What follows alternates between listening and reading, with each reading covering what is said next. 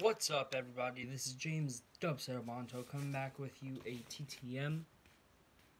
So I got one of one in 28 days, Jed Lowrie. He actually personalized it to James, Mr. Jed Lowrie, via Met Spring Training. Took 28 days, so that's kind of cool.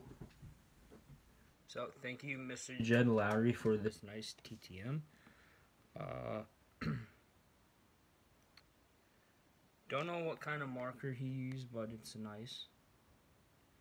So I'm gonna put this in my TTM binder slash autograph binder.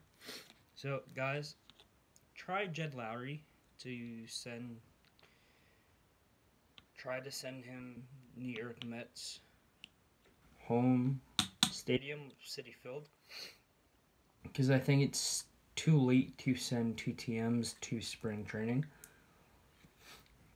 I sent this a while back, so it's like West Palm Beach, Florida, and this was stamped on March 1st.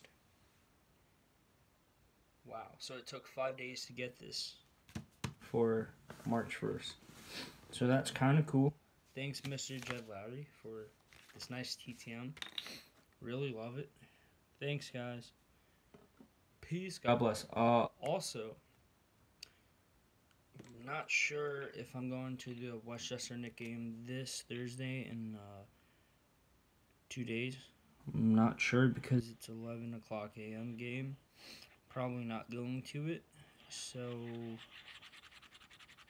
I might, I might not, but who knows.